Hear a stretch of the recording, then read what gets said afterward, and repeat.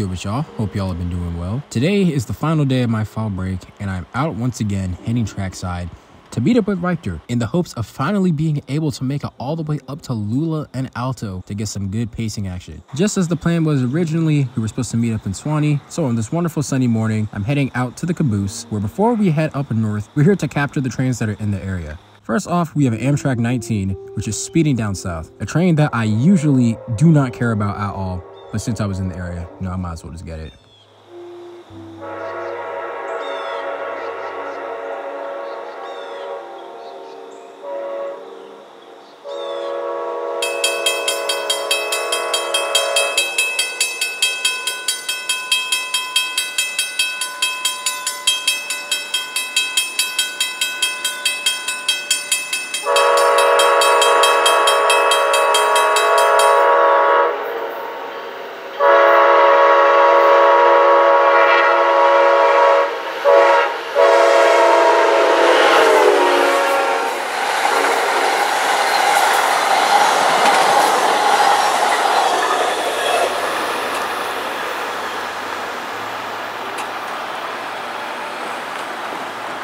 In the absence of ATCS, we really did not know if anything else was coming, but fortunately that block signal came in clutch because it turned red for NS28R that would be coming up north. This is a hotshot intermodal that originates out of Atlanta and will head up all the way to Rutherford, Pennsylvania before coming back down south.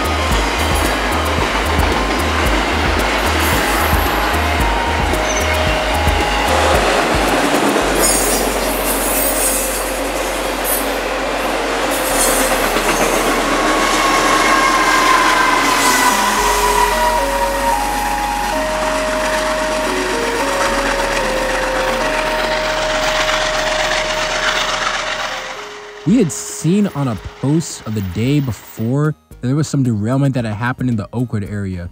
Apparently some center beam had fallen over. So we found the location, went over there, and sure enough, we found the cursed railroad car lying on its side, loaded and with the wheels and axles detached. This train had been purposefully derailed, and I say purposely in quotes because evidently it had run out from whatever industry or spur it had been placed in before and to prevent it from rolling out into the main line where it can actually hit a real train, it hit the derail so that even though this car is derailed, it's better for it to be derailed here than to be derailed along with an actual train. You may notice up ahead that there is a yellow signal, a signal that clearly indicates that there is something coming. So you would think that we wouldn't try to go too far ahead. We still tried to go all the way up to Gainesville. Oh and in doing so, we missed the train. This was Norfolk Southern 27A, the southbound counterpart to 28R that we saw earlier. Fortunately, it didn't have like anything super special. It's not like we really missed anything catch-wise, but I want videos. I need footage, my guys. To understand the next part of this outing, let's go back to two days ago. I missed all these trains, yada yada yada, sad, sad, sad, I missed all the trains. Let's run this graphic back and look back at that second train that I posted. This is Norfolk Southern 44R. This is a grain train that originates somewhere up in the Midwest and terminates at Gainesville, Georgia. So if you look at the units here, there are four units. Three of them are facing north and only one of them is facing south, that second unit. Ideally, that second unit would be leading the southbound train out of Gainesville, right? Unfortunately, there was just a slight problem.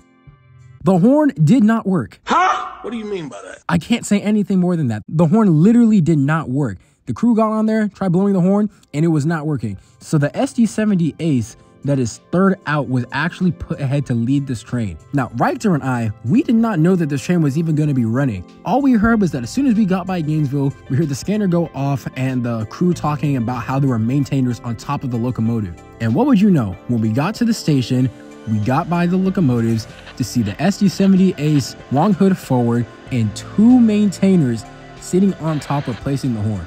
This is one of the coolest things I've seen. Like literally when we got there, one of the maintainers was just casually holding a K5LA horn in his hands. And the back cap of one of the bells had dropped, a backup that I intended to steal, I mean return to the appropriate Norfolk Southern authorities, of course. Further evidence of Saturday's activities is off in the distance, where that parts train on the left is actually led by the same unit that led P-72 on the Saturday that I unfortunately missed our trip.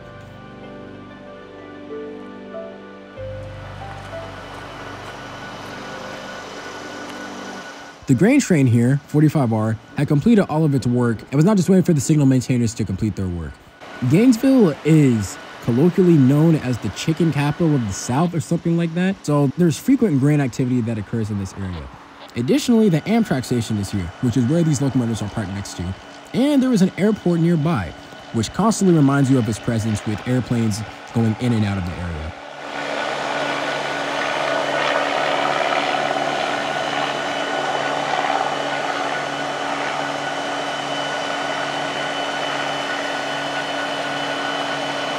We could see the maintainers continue their work on the horn of that second locomotive.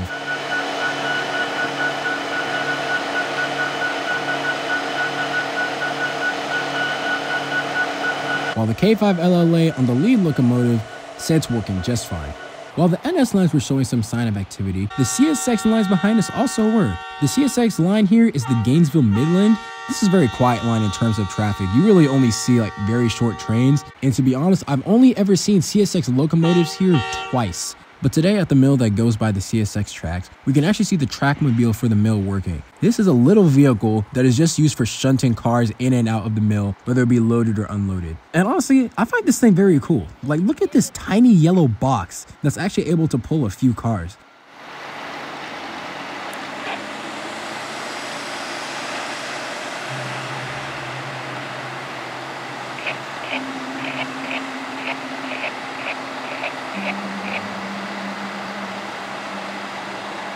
As the trackmobile returns back to the mill over there, the Norfolk Southern crew quickly gets indication and soon departs the station.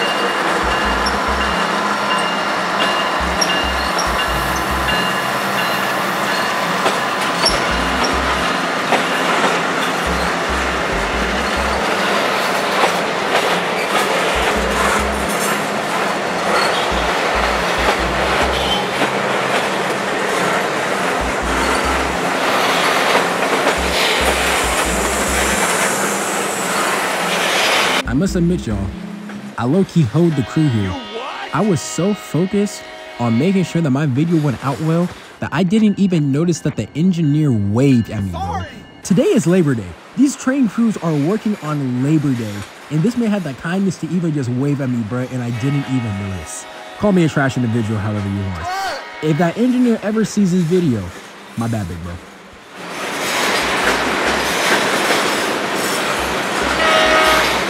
As all the big Martin 6 axle power goes off into the distance, you can now look at that solo unit that's sitting right here.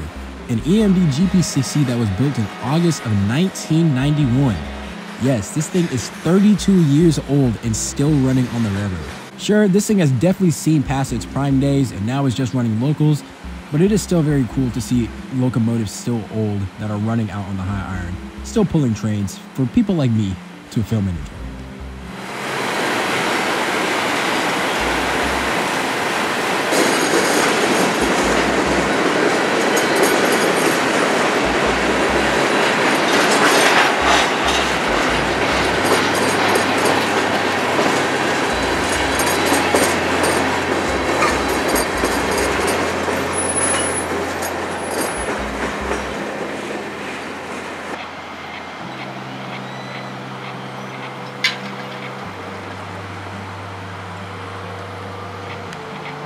With the grain train gone, we can now look at a more unique power set that is very important to the Gainesville industry here. Here, we can see the Cargill units that are here. Cargill is the company that processes all the NS grain trains that come into Gainesville. And because they process these trains, they have their own locomotives that they use to take all the NS cars, split them up, and shunt them in so that the grain cars can get unloaded. The first Cargill locomotive that we have here is a SD20. You don't really see too many of those, with evidence of the treatment that they give this engine. I've only seen this engine running a few times, and even from the few times that I've seen it, I can tell that they do not care about these engines. One shot that. And when they're switching, it appears that they just stow these things into notch eight. Because whenever they're reversing with a load of cars behind them, just a tall pillar of smoke just comes out of the smokestack. And you can see the evidence of all that exhaust littered on the engine hood. Behind the SD20, we have this GP9, another locomotive that you don't see too often which just supplies additional horsepower for the trains when they're switching. It's cool seeing standard cabs like these, especially in this unique neon green paint scheme, because these are not the standard anymore, now it's just all wide cabs. Well anyways, once Ragnar and I were done looking at these locomotives, we went by the CSX mill just to get some footage. We can see the trackmobile back over there with the hoppers that it was moving around, and we can also just get a closer look at the operations that's back here. There are many trucks that go in and out of this area, which is evidenced by how bumpy these roads were. These roads were in such horrible condition, bro. And look, here's one of the culprits right now, murdering the roads, but still having a job to fulfill.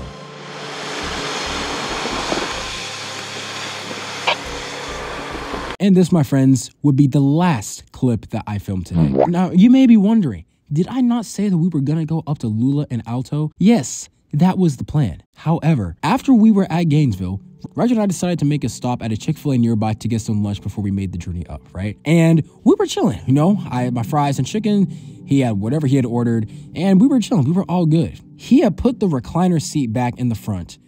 And somehow, this man, this man who has angel hair spaghetti arms and the strength of five ants, he pulled on the back of the seat. Y'all, I cannot make this up. He literally broke the headrest, bro. And it wasn't like just one piece that fallen out or something. There was a fracture in the back of the seat. I kid you not when I say I sat in this parking lot for, I believe, 40 minutes trying to fix this. And ultimately, I just came to the conclusion this thing is broke. It's not going to get fixed. And let me remind you that I was using my mother's car for this trip. So honestly, I was thinking I was dead, to tell you the truth. I, I thought this was gonna be the last time you was gonna see me. This would be my last video. I wasn't gonna keep going up with the car broke like this and then have my mom come back to see the car. So we decided to just head back. I let her know and she was actually chill. She just wanted to make sure I was all right. But um, yeah, our trip ended right there. And apparently we missed a train while this was happening. So uh, yeah, insult to injury there. And unfortunately, this was my last day of break. So, with this tragic conclusion to the day, the weekend also came to a rather tragic end, rail fanning wise. And thus, I made my trip back to Atlanta, back to college, where I will be in the books or by the rails filming whatever comes by. The city's ridiculous when it comes to train traffic. Will we ever make it up to Lula and Alto? Who knows? Guess we'll see in the future. But until then, I hope you guys enjoyed this video. And as always, God bless. I'll see you soon out on the high iron.